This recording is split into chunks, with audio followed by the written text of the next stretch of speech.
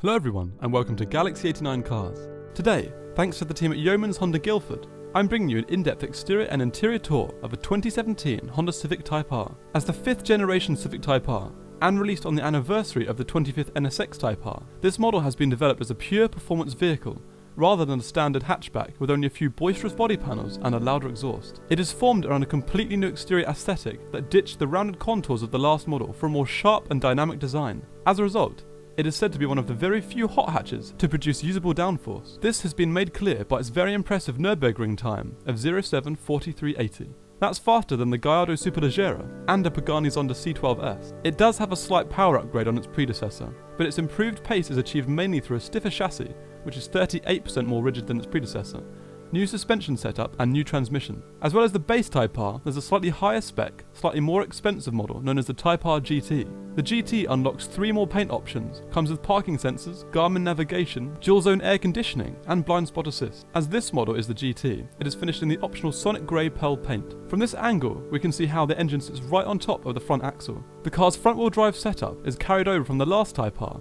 and is powered by a lighter version of the front mounted 2 litre VTEC turbocharged 4 cylinder engine it produces 316 brake horsepower and 295 pounds-feet, or 400 newton meters of torque, which is up 10 brake horsepower from the last model. This powertrain can produce a 0 to 62 mph per hour or 100 km per hour time of 5.7 seconds, and a top speed of 169 miles per hour. These figures represent that of the old model. At the rear is a new tri-exit exhaust system that is said to directly improve performance by improving gas flow, and therefore is not for show alone. Let's see how it sounds, first in normal and then in R,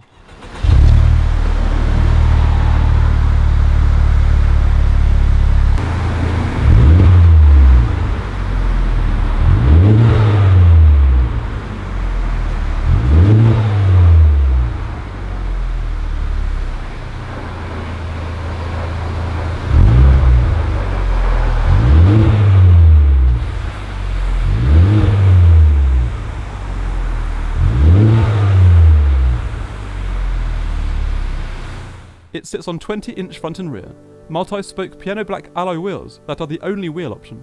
Stopping power is provided by vented and drilled 350mm front discs and ventilated discs at the rear. Stability is in part provided by new front MacPherson struts and independent multi-link suspension at the rear with adaptive dampers. Now we've finished the model overview, let's start the exterior tour from front to back. There is a very angular carbon front splitter at the bottom that wraps around the side until eventually folding into the lateral winglets. This is an option. Above, there is a small grille with the intercooler behind it, and pentagonal vents with small lights and further intakes at the far edge.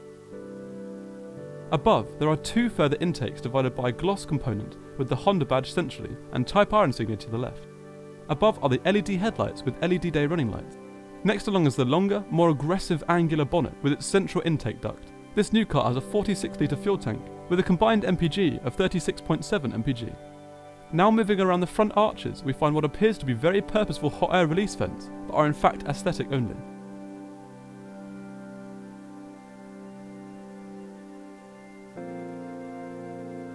These run down to the carbon effect side skirts on either side. Above are the electrically adjustable wing mirrors with integrated indicators.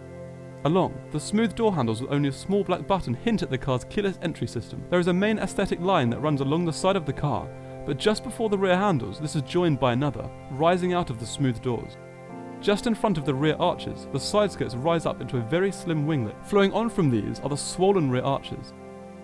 Moving up, we find the shark's tail antenna and aggressive panels that extend the dynamic lines of the roof out of the back of the car. A full spoiler can be specced here. Below is the characteristically large spoiler that has been moved back from its predecessor. Further back is a gloss black strut with an integrated brake light. The rear of the Type R does not disappoint, but continues the rather extreme angular aesthetic. The rear lights provide an integrated feel as they wrap around the side of the car and also onto the strut above. There is a small Type R insignia badge on the right hand side, with a reversing camera centrally. There are very slim hot air release vents behind the rear arches, with these large pentagonal sections on either side. The aggressive rear diffuser flows down at the sides and back up in the centre, with two small fins either side of the tri-exhaust outlet. Now we've finished the exterior tour, let's move inside. The key is far less dynamic than the car, and features controls to lock, unlock, and open the boot. The door feels light and opens easily. The interior is upholstered in fabric and suede style cloth with plastic inlays, a leather steering wheel, and red piping and accent.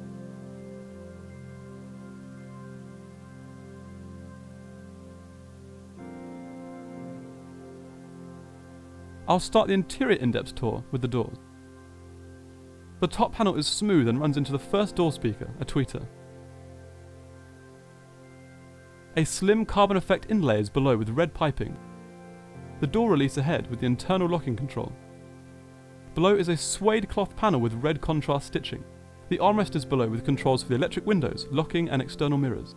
At the very bottom is a deep open storage area with a stepped section and second door speaker below. Now moving inside, the side skirts make the skirt area look wider than it is, but ingress and egress was very straightforward. In the driver's footwell, we can see the alloy pedals with the bonnet release catch to the right. Above are some GT only features like lane assist, collision mitigation braking, as well as parking sensors and traction control. Next is the keyless start button with the first manually adjustable air vent above. Moving inward, we find the multifunctional leather upholstered steering wheel. On the left are controls for trip screen and call setting, airbag centrally, and controls for cruise control and lane tracking on the right. The start sequence is quite bright and sporty, with the gear change lights appearing centrally. From left to right, warning light array and engine temperature. Central information screen with drive mode top left. Rev arch, speed below, trip under, and temperature, mileage, and time last. Fuel level and further warning lights are on the right. Performance information regarding the turbo and engine are the first two option screens on the trip.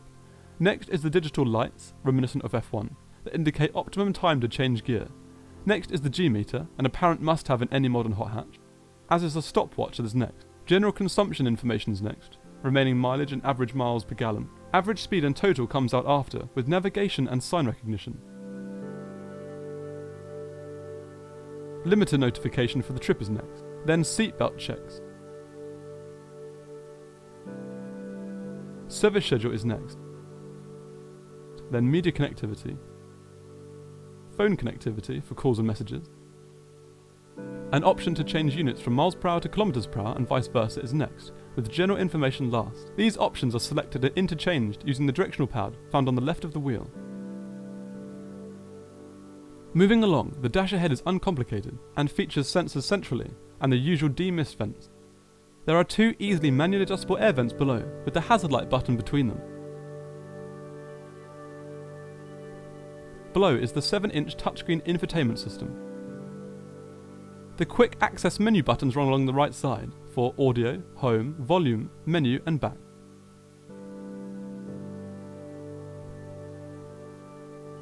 From left to right, the first option available is nav. Powered by Garmin, it accurately shows location, direction of travel, duration and traffic. Next is the menu for phone connectivity for calls, emails and messages. Menu for general settings comes after, which offers camera, audio and vehicle settings. Audio connectivity options are next, but also to control the DAB digital radio. The volume controls to the side are easy to use to reduce or increase the volume, but may be slow to react to when driving. Info provides information regarding the general trip computer and system information.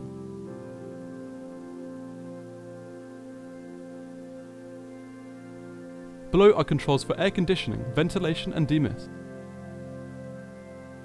There's a small passenger airbag status display below.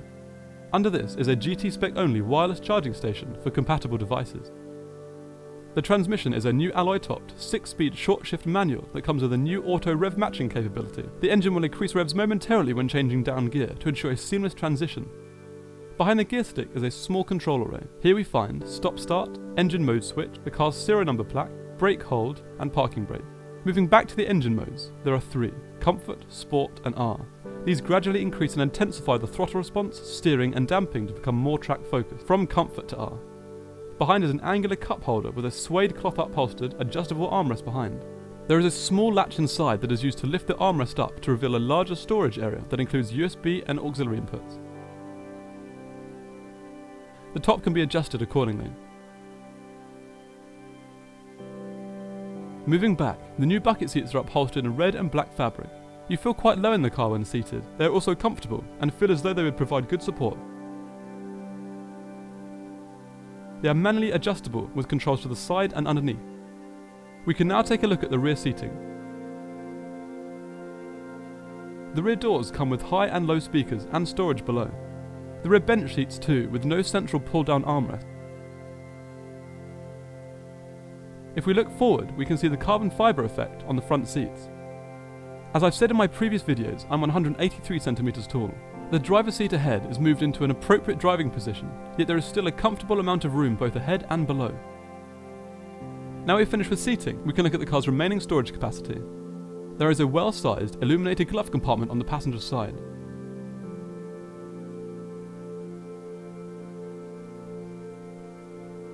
Moving outside, the rear boot can be opened with the key or button inside. Has a capacity of 420 litres with the seats up and 786 litres with the seats folded. It features the pull-out divider above and can also be specced with the dividers.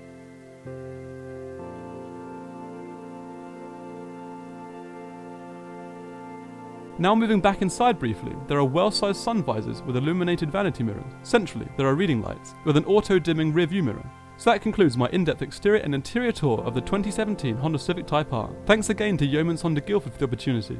All their contact details are in the description of the video. Please subscribe for the latest content, and until next time, thanks for watching.